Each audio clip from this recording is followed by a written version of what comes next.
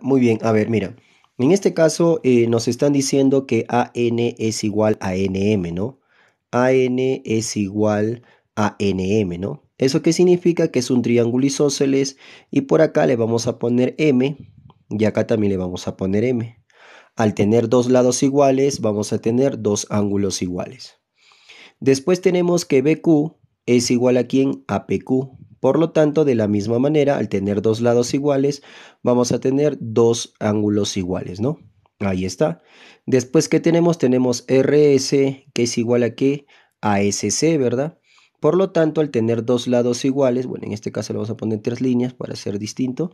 Ya, dos líneas acá, dos líneas acá, entonces dos lados iguales, por lo tanto, dos ángulos iguales, ¿no? Ahí está. ¿Qué es lo que vamos a ver por acá? Pues lo primero que tienes que notar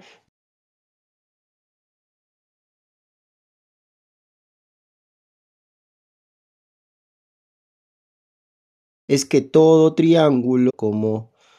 Eh, ya, ahora sí, vamos a continuar, ¿ya? Lo que pasa es que me estaba saliendo María. Entonces, como les decía, la suma de los tres ángulos internos viene a ser 180, ¿no? M más N más P viene a ser igual a cuánto? A 180, ¿no? Muy bien.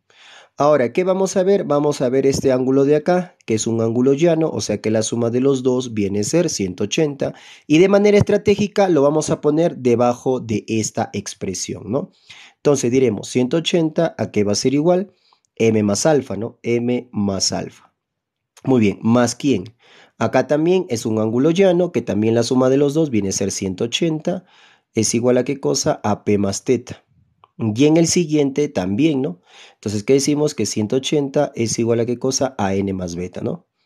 Ahí está. Entonces lo vamos a sumar todo y en la suma vemos que m y m se va, p y p se va, n con n se va, 180 con 180 se va. ¿Y qué me está quedando? 180 más 180, 360, ¿no?